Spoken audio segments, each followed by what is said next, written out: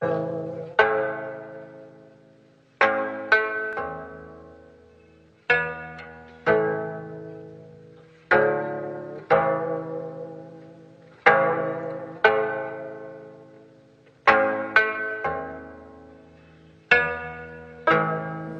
is one of them um, that we're lucky to have. His uh, most recent uh, translated novel is this one here, Black Flower, which was out um, just a few, uh, about five, six months ago. Um, so uh, I want to start with a very basic question, um, as some of us might know and others might not, um, how you came to be a writer. I became especially curious about this after I heard your TED Talk, um, an excellent TED Talk uh, called uh, uh, Be an Artist Now. Uh, so when I was young, so I lived in the near the DMZ area, so because my father was a army officer, so uh, and my my parents wanted me to be a kind of you know businessman or accountant, you know, so who you know is able to make big money and a stable you know job. So, but uh, so uh, I entered into the Yonsei University, and my major uh, is um, the business administration. So, uh, in Korea, we call this kind of act hyodo. so, I, I, I wanted I, I wanted to be a good son to, to my parents, but that is my last good act to my parents. So I, I didn't study at all. So, so and business administration and some and then the, the subjects of that major was were really boring, and so I need some kind of you know exit. Case, so I I, I wrote some uh, the short fiction on the net. So I found some audience. So I found some audience. They uh, you know said to me so they liked my stories. So they you know encouraged me. So why don't you you know write some you know longer things? So yeah yeah. So I just began to write and began to study, began to read, you know, serious fictions and uh, good pieces of, uh, you know, uh, fictions. So yeah, that, that is my beginning. It's, it's very interesting TED Talk, if you haven't heard that, quite inspiring. Um, and uh, Young was just telling me in the back that uh, after this uh, talk uh, was put up, um, he's been getting uh, lots of mail uh, from both people in Korea as well as all around the world saying, I've started painting again after you know, stopping for decades, or I've started to write. You know, this, I think that's very exciting when you can start you know, momentum for someone else that way. Um, Black Flower uh, strikes me as a radical departure from anything you've written before in the its narrative telling and especially the montage of characters um, and also the pacing as well. Um, I was wondering, how did you come to this idea and what did this novel mean to you personally? Uh, so Black Flower is my third novel, and uh, before before this novel, so I didn't write uh, historical fiction.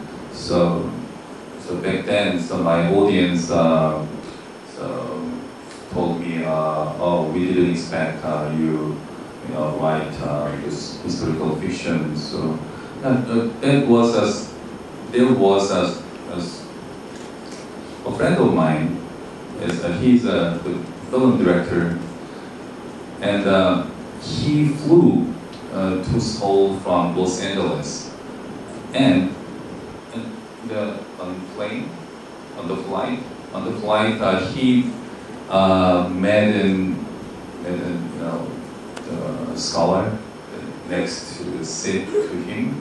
So the scholar told him a very interesting, intriguing story. So he uh, was studying the Korean immigration history. So he told the, to my friend, he told my friend, so uh, enjoy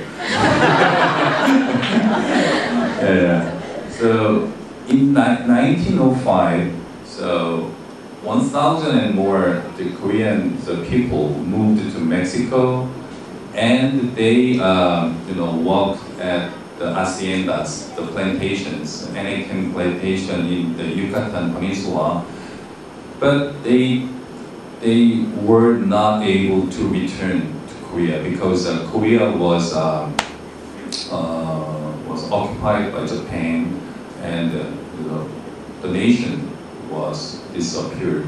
So, uh, and 1910, the Mexican Revolution uh, began. So, so in that chaos, they some of them moved to the northern Guatemala, and they built a small nation in the jungle. So, so New Korea, kind of the New Korea.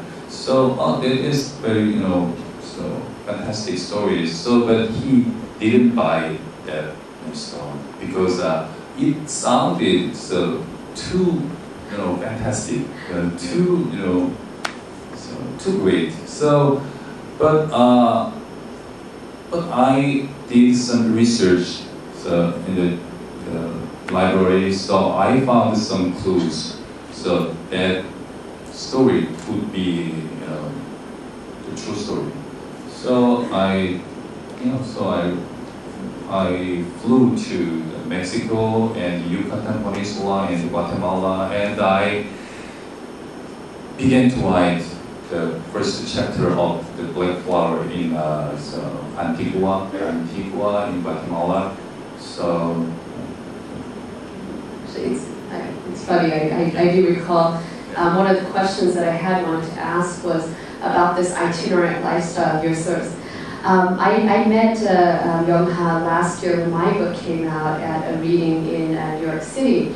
And um, we, we had a meal together, and I, I could never forget what uh, he had said to me at that time. He looked at me and he said, You're now a writer, but a professional writer, you will be lonely. and I thought, oh gosh, it's been two weeks since I started. I learned I'll be lonely for the rest of my life. What does this mean? And um, I, I learned in the last year and a half what that, in some ways, that means or that entails as you're traveling all around the world or jumping around. And I've spent very little time in Seoul um, for that reason. And um, it, uh, I, I what is that like for you? Because you spent so much of your time overseas, and even when you're here, you're on the move all the time. Um, how has that uh, both uh, changed your work and, and your life?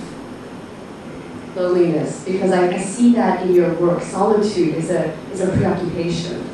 Yes, uh, yeah, I, I remember the, the, the, the face of Krys uh, when I, you know, told the, the secret to Krys, you will be lonely. And uh, so, you know, yes, yes, I, I wanted to, you know, cheer her off, but, but yeah, yeah. But, I believe, yeah, yes, uh, being a writer, so the means uh, you know became to become to become lonely guy, so lonely the person. So yeah, yeah. So I live in the Busan now. So there um, there is no friends Busan. So the nobody you know the nobody makes a phone call to me. So, so yeah, but but I, you know, accept. Yeah, I Not only accept, in some ways you've created it by Uh, voluntarily moving to Busan. I, I think you've talked about this before too, and I found that really yeah, interesting. yes, I hate Yeah. people. yes, uh, but you know the the writer, the job of the job of the writer, a writer is uh, you know making a world so for his uh, or her own the world. So I believe the writer should live uh, with them. so my characters and in in my world. So sometimes I have some, some trouble. So you know, living with people and uh, hang, hanging out with people. So so so I I, I tell them so. Uh, I charge myself with you know kind of so like kind of battery. So socialistic battery. Uh, uh, batteries, so, but it uh, doesn't last uh, two hours or three hours. so I and then I had to I had to go back to my walk, go back to my world, go back to my characters, go back to my uh, novels. So so now you see you see my uh, very socialistic ego so or avatar so, of, of Kim Young-ha. So real Kim Young-ha is walking on his desk. So it, this is my avatar and uh, very look friendly and uh, smiling. But this is not me. It's very suspect. Actually, speaking of characters, uh, when you speak avatar or mask, uh, the first story I read of yours uh, was uh, Noi Urimi, uh, which was uh, um, anthologized uh, and it won the uh, Isang Munaksan, the Isang Literary Prize, I think in 2003. Yes. Um, and I was intrigued because uh, the main character is a, a, sleazy playboy film director, quite comical character as well. Um, and the, the, first character, the main character in I Have uh, the Right to Destroy Myself, Dara Pamir Koligaita, is um, uh, in some ways, uh, you know, not is very um, a suspect as well. But then, then there's this other great tonal range and uh, personalities and backgrounds that have emerged in uh, the, the, the, next 10 years of your work. That's kind of an astonishing uh, range. And but I'm wondering, you as a writer, there's something secret there that's tying all these characters together, or there's reasons why certain characters are more interesting, and you become obsessed, and you want to live with certain characters longer than others. And what, you know, tell us something about that. What attracts you to, you know, this, these particular characters? Uh, yeah. So I, I believe uh, everyone is special. So everyone is weird. So, uh, so everyone has some weird aspect in their mind. So their the acts. So I just watch them. So uh, in 2003, uh, from uh, from 2001 to 2004, I worked with uh, the the film industry. Uh, I I wrote some film scripts and uh, I worked with them. So yeah, uh, some I watched them and uh, I don't know. So I don't know. What can I say? Um, yes, uh, people says that you're not in your novels and in your short stories. There are many characters and uh, so, big spectrums of the characters. So I don't know how I you know to pick the characters. They just come to me. So yeah, but I really like uh, to watch people and to talk to them. So uh, let me tell a story. So, so 10 years ago, so nine years ago, so my the computer, the desktop computer uh, was broken. It's broken. So uh, a computer guy so visited my house, and uh, he and he and I so were talking about his life and his wife and his sons, and so he he so wanted to return his uh, the office. So he told the he told his boss lie. So uh, this desktop computer so was uh, totally broken. So I needed more time. So yeah, so I he and I just uh, were talking the everything of his life and how he became, uh, you know, what can I say? a re- Repairman? A repairman, and uh, so how much he loved, he loved his job, and so I, I have many experiences of, like that. So when I meet a fisherman, fisherman, so, or some repairman, some the cable guys, so, and the taxi drivers. So yeah, so that I think so I, I have a, a few the talent of the writers, but the, the one thing I, I really the one thing I really like is uh, talking I'm, I'm making people talk to me. So, been a long time. So, that is my story. I wonder how many people have lost their jobs as a result. Oh, right. um, I, I, really, I want to talk just a bit about uh, your short story uh, called Kurimja Rampansanai. Um, uh, the English title is The Man Who Sold uh, His Shadow. It's up on Words Without Borders, the site of uh, translations from around the world. Um, it's, it, we, I mentioned the word solitude before, and this is probably one of the loneliest stories I've ever read in my life. Thank you. it, it, it, you know, I've, I've read it several times actually, and each time I read it, it, it quietly, slowly breaks my heart. Um, and um, I'm, I'm, I'm interested in both the story's origins as well, but more the, the pattern of images in the story. It starts with a bird and a shadow, there's a man and woman hiding in the bushes, uh, a man and fire. Um, there's others, I won't give the story away, I won't spoil it. Um, but I'm interested in how the images are important to you in shaping your work. I see it again in the book. Um, I'm translating Kim Young-ha's uh, latest novel. And again, I see that preoccupation with the image and how the image surprises us much later in very um, unusual ways. Yes, uh, yeah, the story is uh, so my my favorite short story. Shoes, uh, yeah. and uh, and the story started from an image. So Krys, uh, you just uh, so right. So you know the the the, the, the LP album of Pink Floyd. Floyd. I, I forgot the, the, the name of the, the album. What is that? Dark Side of the Moon. Uh, Dark Side of the Moon. No, the Ogai is. Uh, on fire. Wish you were here. Oh yeah, wish you were here. I wish you were. Wish you were here. Yeah, yeah, yeah that, that's right. So. Uh, when I uh, wrote the story, so I, I just uh, so, so the album.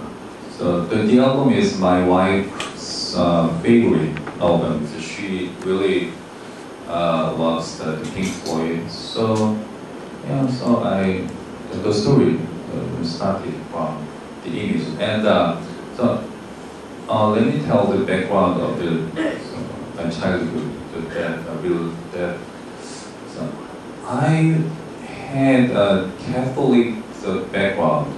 So when I was born, so my mother and my father, uh, what is that? Uh, baptized uh, me, So uh, I had, so I have a Catholic name. So my name is Antonio. so I'm uh, Young-ha Antonio Kim. So, so my my my aunts and my uncles called me when I was baby. So Antonio, Antonio. So I thought that was my name. So my family has a very strong, uh, you know, Catholic background. So when I was uh, high school student, I wanted to be uh, the monk, uh, Francisco, Francisco, Franciscan, Franciscan monk. So uh, in summer vacation, so I would uh, the visit uh, Francis, Franciscan um, school, Monastery? monastery, and I stayed there in seven days or ten days with my friends. So. Uh, so some of my friends uh, so became the monk or the father, priest, priest but uh, I was expelled by uh, monk because uh, too talkative and yeah, so So one day, so a monk, uh, you know, uh, told me, uh, brought me to his office, and uh, he told me, uh, "You uh, are not the kind of people who can stay in the, in the, in the monastery so for your life." So, and uh, so on, you know, that kind of my experience, you know.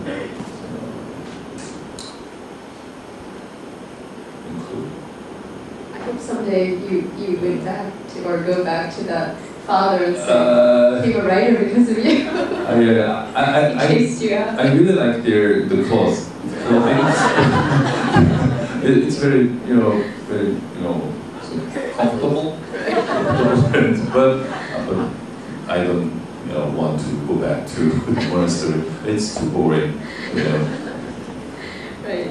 Um, yes, we looked at, talked briefly about the stories as well as the novels, and I want to go to, back to something that uh, the writer Chang-rae Lee had once said. Um, the writers are essentially short story writers or novelists at heart. Um, he gave an example of the um, Tobias Wolff. He said was essentially a short story writer, even though he's won prizes for his memoirs and novels. Do you consider yourself more of a story writer or a novelist? What form attracts you most? Uh, actually, I don't agree. So uh, his words. So uh, writer is essentially so can be a short story writer or novelist. So um, I don't know. I don't know much about the American uh, tradition, but in Korea, many writers uh, do you know write uh, short stories and novels simultaneously. I think he means Yeah. what's what you consider your greatest strength, like at heart. What is the Ah. form that's most natural to you? Ah, yeah. Actually, uh, so my audience, the Korean audience, uh, prefer my short stories. So, and uh, my short story collections uh, sells more, more than the novels. It, it, it, it, it's not common even in Korea, but but in my heart, so I want to be a novelist, uh, not uh, not short story writers. So I think so writing short stories is you know looks like a, you know, hobby to me. So sometimes I I I, I wrote uh, my short stories just uh, so one day one day or two days. I, I write very fast.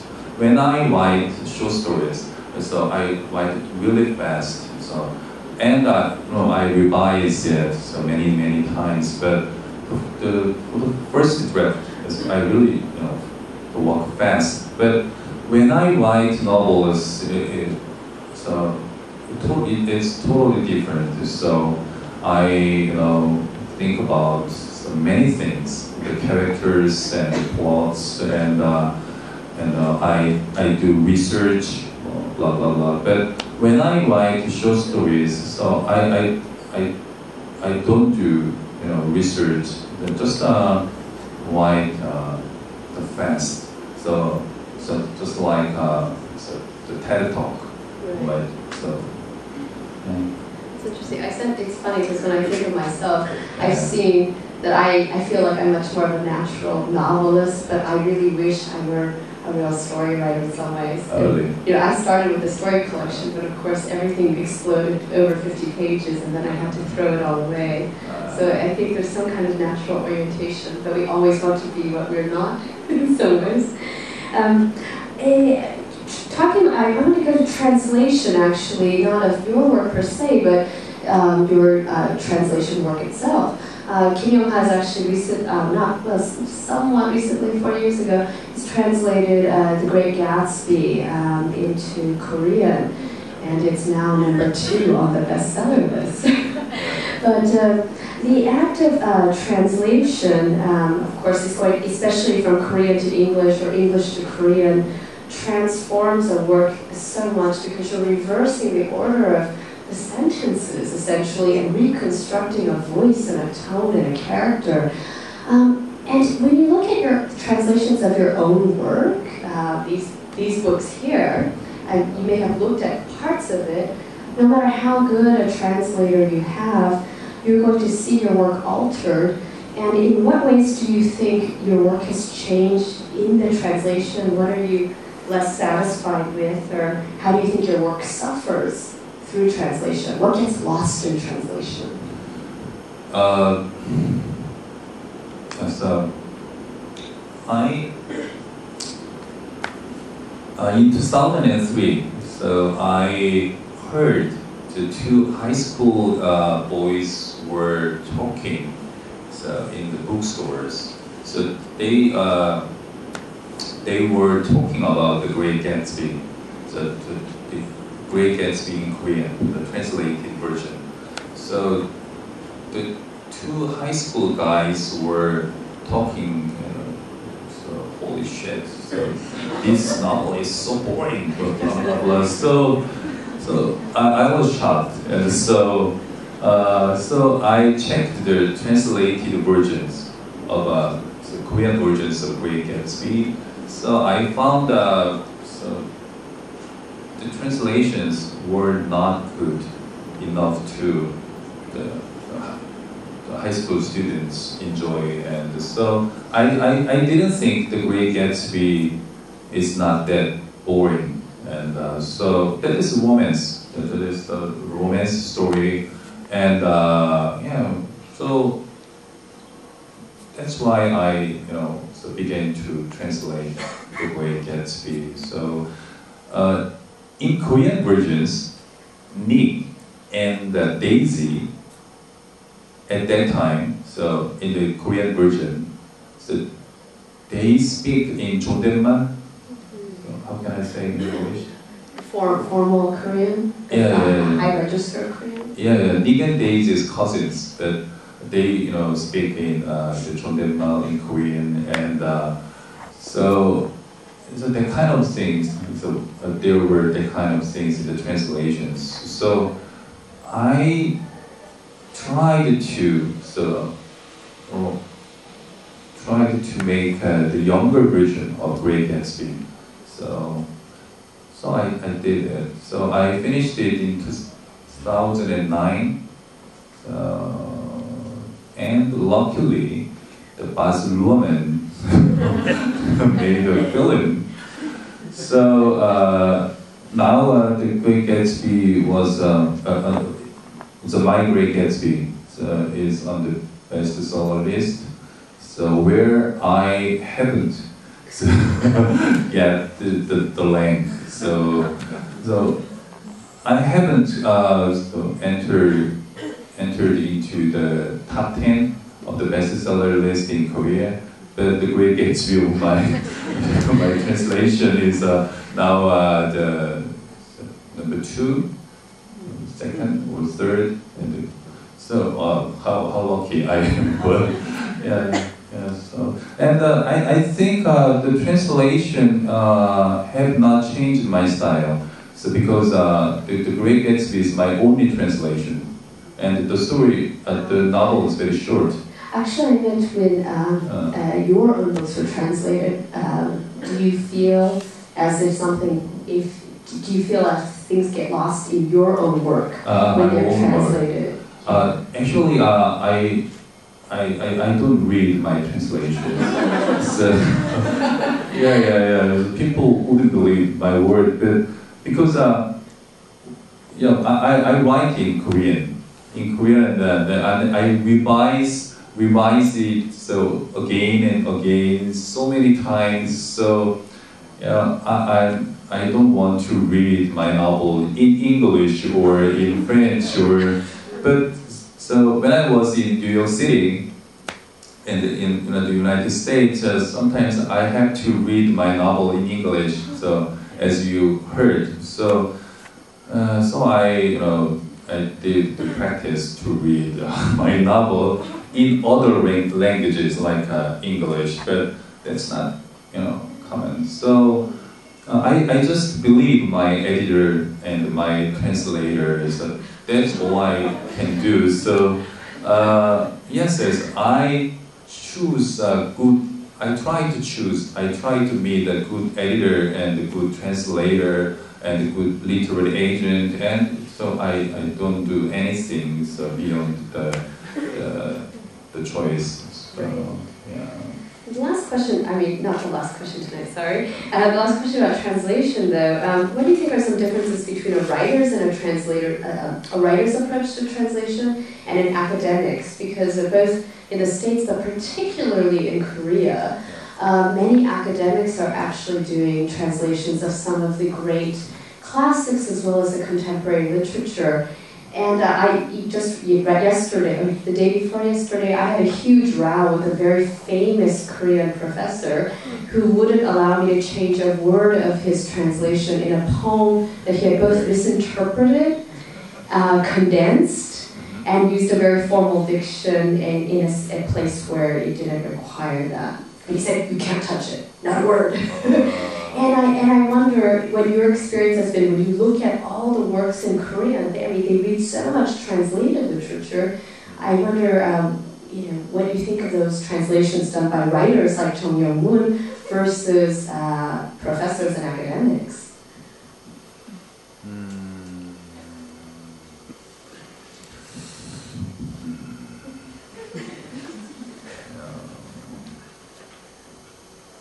difficult question. Uh, I have to thought about it. So, 음, 좀더 짧게 다시 한번 얘기해 주세요. 잘 이해하지 못했어요. Uh, uh, essentially, uh, you know, ri- uh, right of people who translate, if they come from an academic ba- background versus more a literary background um, in terms of their own writing, do you see that difference in um, Korea in the translations that you read, or do you think that uh, academics um, are are doing very good translations in Korea as well? 네, 어, 죄송합니다. 제가 이 질문을 좀 이해부터 어, 아니 그냥 넘어가겠습니다. 예. okay.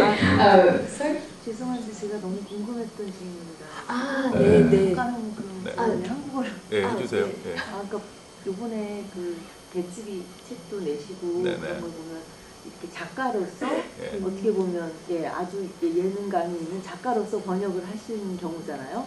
그리고 다른 뭐 번역가 중에서도 특별히 아주 작가로서의 능력이 있는 분이 스스로 번역하실 수도 있겠고 아니면 한국에서는 번역하시는 분 중에서 뭐 학자라든지 뭐 예, 아주 프로페셔널하게 그냥 쓰시는 분들이 있는데 저도 이제 번역 연구를 하는 사람이라서 그게 굉장히 오늘 여쭤보고 싶었어요. 그래가지고 본인이 하실 때 어떤 작가로서의 그게 배치기 하실 때 들어갔는지 내지는 다른 분들하고 얼마나 차이가 날, 날 것인지 그냥 어떤 분들은 사실 그거는 김영하 스타일의 번역이다 이렇게 얘기를 하시고 있는 분이 있거든요. 네. 그러면 저는 아 그것보다는 오히려 정말 라이터로서 더 섬세하게 그걸 살려내실 수 있지 않을까 이런 생각을 했거든요. 아, 그, 그, I see. 그리고 아, 특히 네. 학자로서는 좀더 아, 예, 다른 예. 잘, 뭐랄까 그, 네. 그 분야를 통해서 그 번역하시면 좀 다른 예, 아, 이해 예, 예. 이해가 다를 것 같아요.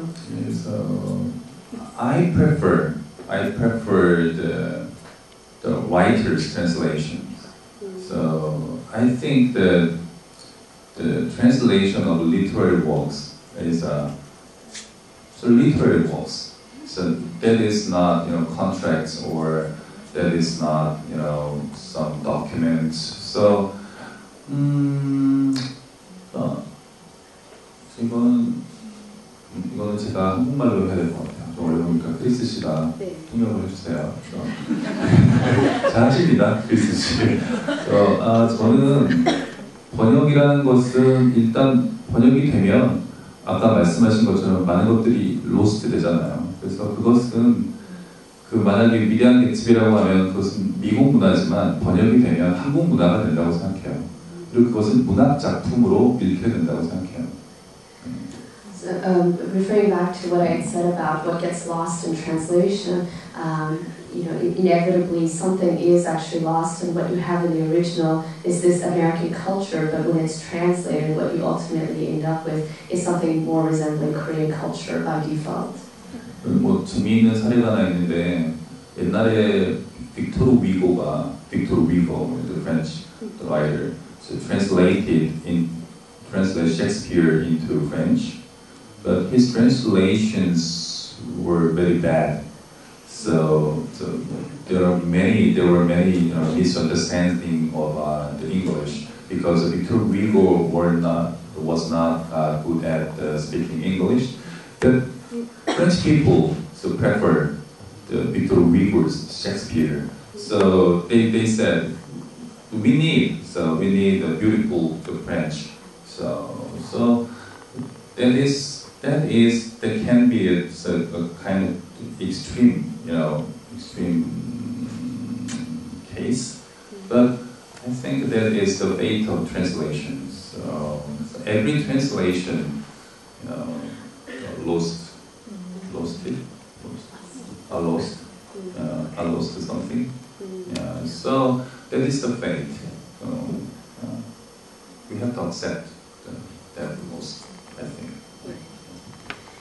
Um, As, as you already know, I'm a huge fan of your pop, uh, podcast, um, and uh, there's a, quite a few um, moments or books in the in your podcast when you talk about uh, uh, poetry collections and how poets know how to see, you know, the power of observation, and that really um, I, I thought about your work uh, when um, I listened to this podcast because I I could be wrong, but I do see this growing kind of ability to see things in a different way and to describe them to make it new for us in the way that maybe your first book didn't reflect as much. And so there's this growth um, uh, there. And I'm wondering what other uh, lessons um, or what you've learned from reading, from a life of reading, from other fiction uh, writers and poets. What do you consider the lessons you've taken? Uh, uh, so actually, I was inspired by uh, the New Yorker fiction podcast. So did you do you hear that? Uh, uh, yeah, yeah. The, that is really good. Uh, the the podcast by uh, Deborah. Deborah. Yeah, the fiction editor of uh, the New Yorker. So, uh, so I wanted to make a so a podcast like that. So at at that time in 2009 and 2010, so there was uh, so no podcast culture in Korea. So the people so say uh, so my podcast so, so might be uh, so the first you know so podcast uh, in Korea. So uh, first good podcast I mean so so before my podcast, uh, so almost every podcast is uh, the you know the the missionary podcast by uh, priests and uh, blah blah blah. So yeah, but uh, but I I got to know so making podcast is not easy. You know, so I had to invite other the fiction writers to my home or to my office, but it's not easy to. Uh, some I have to pay something, so okay, let's read so by myself. So I just read the some of the novels and some of the short stories. So people, yeah, people really like so my podcast because uh, my podcast is very sleepy. so people, people emailed me, oh, your podcast helped me to sleep well.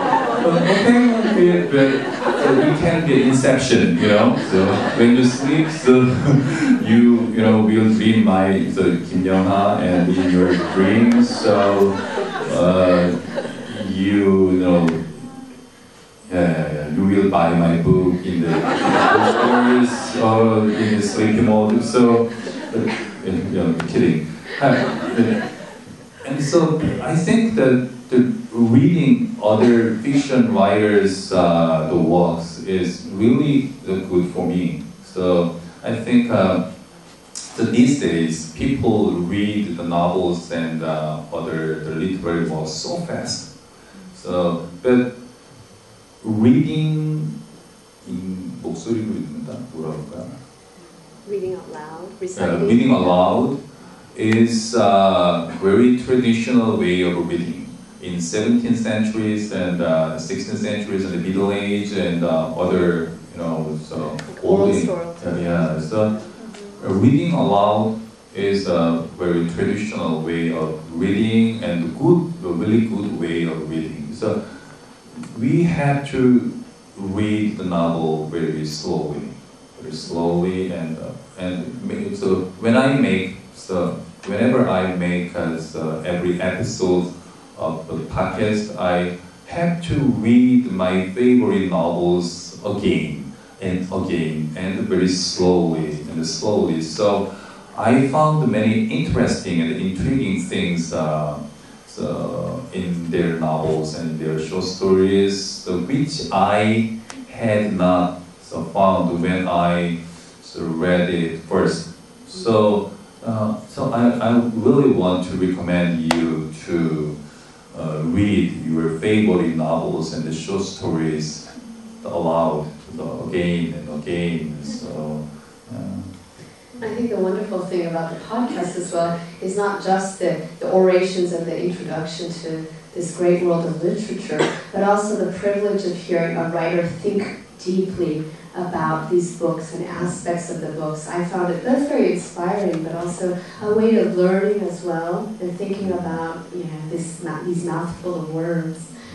Um, and uh, lastly, um, any future projects that you're willing to share with this group or um, you know, our thoughts about how you're changing, uh, you see yourself changing as a writer and uh, by default as a person. uh, so my next project. you? Whatever you're willing to Uh, share. yes. Uh, uh, now I'm I'm finishing my uh, the sixth novel, so it will be out in this summer. The very short uh, fiction, so like uh, maybe shorter than this. I have to write this for myself. Novella. This is a very short novella. So, but my this novel, so what I'm working on, that I'm working on, is very short and uh, novel is about the serial killer. Serial killer. So, yeah. So uh, yeah, you can expect um, yes that I yeah I sometimes adopt the very genre genre things Elements of uh, genre. genre, yeah, elements of genre novels. So, uh, as I did in the Yuri is calling you, or I have to write this for myself, but I, you know, adapt the elements of genre novels, but I, you know, massaging, massage it in in other ways. So, yeah, I really like this novel. So, I, I fell in love with this uh, my sixth novel. So you will, you can read the novel in this summer. Yeah. Sounds like it'll be a very busy summer for you. yeah. Okay, thank you very much. Um, it will be your turn. Sonia. It, shall we? Take a, take a break. Okay, yeah, okay, uh, okay, uh, we're gonna take